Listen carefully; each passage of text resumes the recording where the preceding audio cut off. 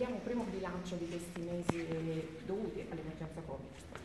Sì, allora l'emergenza Covid ha travolto il, nostro territorio come tutta la nazione e il mondo, però insomma, dobbiamo dire che siamo abbastanza soddisfatti perché siamo riusciti in breve tempo ad allestire 86 posti letto dedicati, a reclutare il personale che serviva, ad avere, a fornire ai cittadini delle Frusinate tutte le opportunità diagnostico-terapeutiche che potevano avere ovunque, anche farmaci sperimentali e con dei buoni risultati, abbiamo zero positivi anche oggi da diversi giorni, quindi abbiamo contenuto tutta questa data anche perché siamo andati a caccia dei positivi con una politica già iniziata dal dottor Lorusso, direttore generale di questa azienda che adesso è al Ministero della Salute, di ricerca attiva e questo è molto importante perché al di là dei pazienti che tornano, che arrivano in ospedale in condizioni gravi, coglierli inizialmente ci consente di non avere focolai nel territorio. Quindi insieme ai tamponi adesso stiamo facendo dei test sierologici tra tutta la popolazione a rischio, sia gli operatori sanitari che abbiamo già finito, le forze dell'ordine.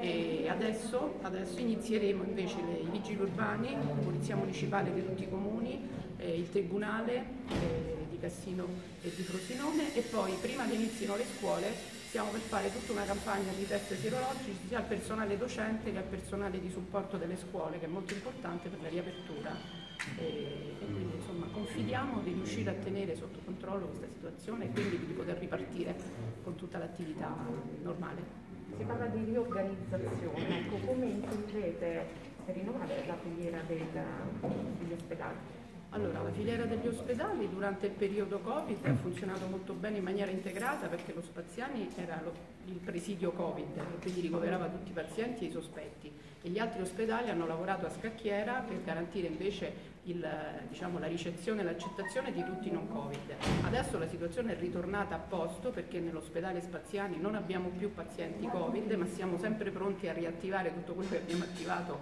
al primo emergere del picco epidemico e quindi anche delle unità operative che erano state spostate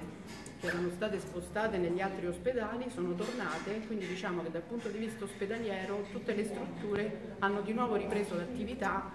come in epoca pre-Covid, ma considerando che siamo ancora in periodo Covid, quindi non possiamo avere la stessa organizzazione precedente, perché dobbiamo avere il distanziamento, dobbiamo avere i percorsi di valutazione, quindi il pronto soccorso rimane sempre con la, la tenda pre-triage, il percorso doppio e quindi la necessità di valutare all'ingresso tutti i pazienti per non iniziare quelli. Okay.